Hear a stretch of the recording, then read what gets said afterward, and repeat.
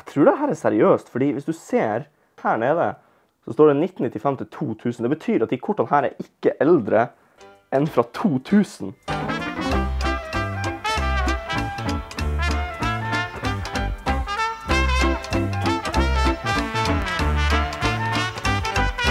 Etter den forrige videoen, der jeg basically flytta hele setupet mitt til Nord-Norge, så fikk jeg kommentarer, og folk sa at de ja, hadde lyst til å se gamle ting fra min barndom som jeg skal prøve å finne her. Vi skal også trekke vinner av giveawayen i dag, så smash like og, og krysse fingrene eller noe sånt. Og ja, jeg har fått sånn fargelys. Så jeg har, dette lyset skal jeg ta med meg hjem til Oslo. Men jeg tenkte sånn, jeg hadde lyst til å bruke det, for jeg streamer en del. Hvis du ikke vet det, jeg streamer masse. ok? Hvis du ikke syns det er nok content her, så streamer jeg hver eneste mandag og torsdag. Og i jula har jeg streama masse. Så liksom, streaming, det er gøy. Jeg skal ha det med til Oslo, så jeg vil liksom ikke klistre det fast til en vegg og bruke opp den teipen der og så rive den ned igjen. Så jeg bare la den der. Den henger der. Jeg håper, håper ikke det er brannfarlig. Jeg tror, jeg tror det går bra. Gjør det ikke det? Men jo, jeg filmer det her på nyttårsaften. Jeg vet ikke egentlig hvor vi skal starte. Vi, jeg glemte jo å lage en sånn her eh, Hva jeg fikk til julen-video. Jeg ser jo alle de her de der youtuberne gjør det, og det er litt sånn Hva er det slags videoer? Men hei, kort oppsummert. Jeg fikk Minecraft Lego. Eh, to, faktisk. Den her har jeg ikke bygd ennå. Det er Minecraft. Den har Steve, og den har en sånn, en sånn liten søt og liten og en edderkopp.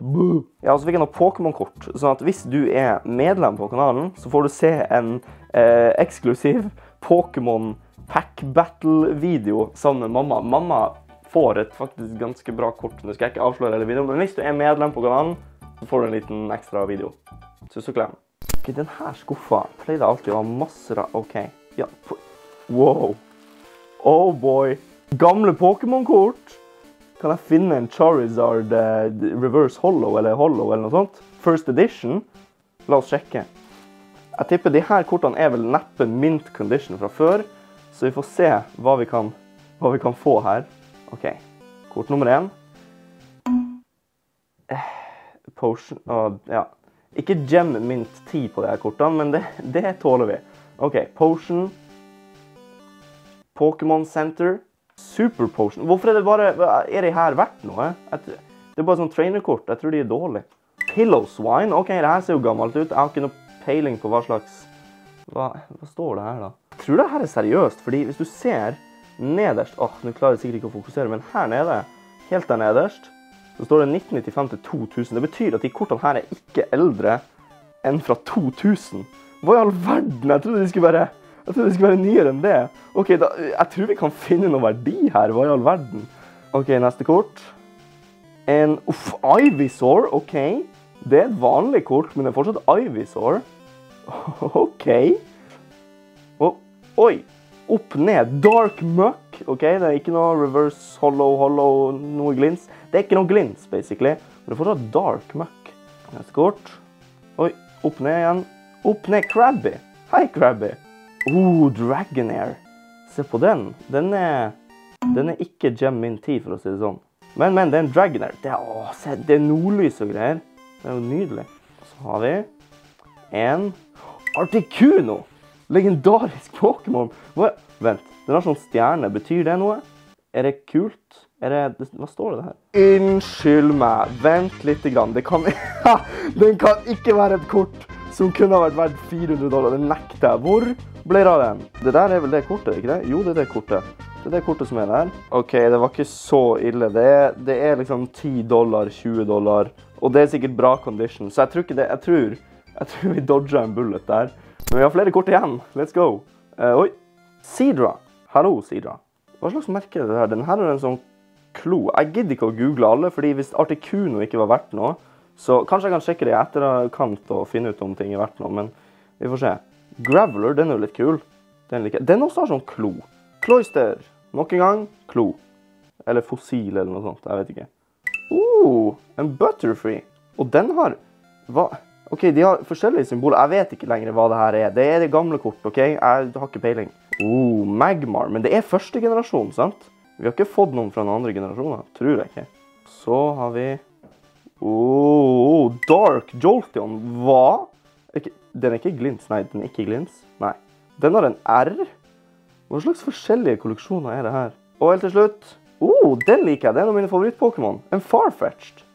Let's go. Så ingen Oi. Det var. Godt jobba, Isak.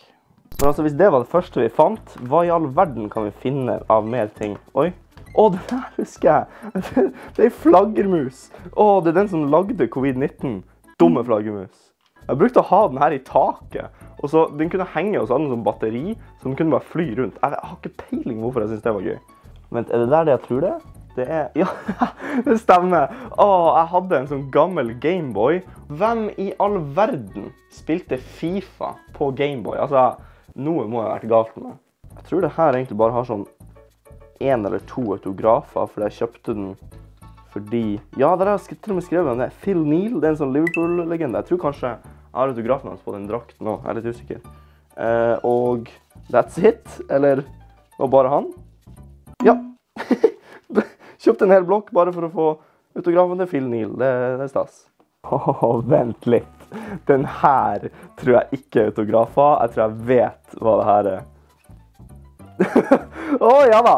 Tror du ikke godgutten har ført inn resultater og referat om hver eneste Premier League-runde og hvem som er statistikk, topp fem, toppskårere. Hver eneste runde. Og så det! Vi vant 1-0 mot Trabzonspor i 2010 i Europaligaen.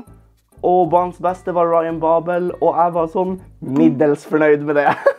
Dette er jo nydelig. Rundens lag. Altså, det her er gjennomført, liksom. Og sånn holdt jeg på. Se her. Runde for runde. Hver eneste kamp. Og kampreferat, der tapte vi 3-0 mot City. Og det var jeg ikke særlig happy med, nei. Oi, men der var jeg fornøyd. Fordi da hadde vi ja, da hadde vi slått Trabzon så borte. Det, det er jo sterkt. Jeg tror faktisk jeg satt i den senga og noterte for ja, ti, snart elleve år siden. Jeg satt rett og slett og skrev og skrev og rapporterte og førte inn alle Altså, hvis ikke jeg er eh, borderline Hva er det jeg hva er det jeg egentlig har gjort? Eller hva, hva slags menneske er jeg? jeg? Er, hva er det som skjer for noe? Hva i all verden er det her? Dette ønsker jeg meg til jul. Despritine og Dragostatin Hvis noen husker gruppa Ozone, som herja i 2005, over dette hvert. Det er bare to sanger. Jeg ønsker meg to sanger. Og så etter å ha ønska meg to eh, sanger, litt pepperkake, så kom vi over på de heftige ønskene, nemlig en Subaru Impresa VRC og Fifa Fotball 2005. Altså, det er Jeg vet ikke om jeg ønska meg en faktisk Subaru, eller om dette var et spill. det her var en fryktelig random bok. Altså, på, på den ene sida er det sånn notat der det står sånn Sameland har ingen faste grenser. Det er et område. Og så blar jeg om på andre sida. Monster! Ah! Dikt. Griser. Runde og rosa. Grynter og graver. Koselig å ha. Griser. Slutt. Det var mitt lille dikt til grisen, så er slik. Hva Hva er det her for noe? Jeg aner ikke hva det her er, men jeg har skrevet min egen bok til Anders skal vi spionere på jentene i morgen klokken 14.30. Hva? Altså, jeg skrev det i boka mi. Hva? Nå skjønner jeg ingenting. Har jeg, har jeg, gjort sånt? Bør jeg straffes i etterkant? Hva Oh, oh boy. jeg fant Ikke sant? Der, vet du. Jeg tror det her er en av mine første bøker som jeg hadde på barneskolen. Hva står det her? Um, yes, dette er akkurat det jeg vil ha. Uh, hei, jeg heter Isak. Dette er meg. Og så har jeg prøvd på noe der, men det ble ikke helt. Der, vet du. Der har du meg. Dette er skolen min. Uh, bra. Hva, hva, er det her for noe? Et, et minne. Et minne fra skolestart. Isak og Kent. Åssen skal vi analysere dette? Kanskje det betyr at Kent er i en annen klasse? Er det det det betyr? Eller jeg har ikke peiling. Jeg, jeg vet ikke egentlig hvem Kent var. Her har dere det til alle haters. Isak er en rolig, grei gutt. Hilsen Randi. Der har du det. Skjæra til Randi. oh, ja! Oi, oi, oi, oi. Dette kan jeg bli taklet? Altså sånn når vi spiller fotball, og der er det noen som fikk rødt kort. Dette øver jeg på. Gå i spinn! Det er Beyblade! Let's go! Jeg ble aldri noen Beyblade-proff. Kosedyret mitt heter kylling. Og det ser sånn ut. Og her er kosedyret mitt på skolen. Hva i all verden er det slags kosedyr? Hva? Dette eventyret har jeg hørt på skolen. Rødhette. Og så er det bare Der. Hva er tegninga mi? Det, skal det være ulven? Det er det eneste jeg har tegna. Her må jeg jo ha det travelt. Virkelig. Dette har jeg lært på skolen. Spille fotball, først og fremst. Og så, og så har jeg lært å skrive også. Dette vil jeg lære. Beyblade.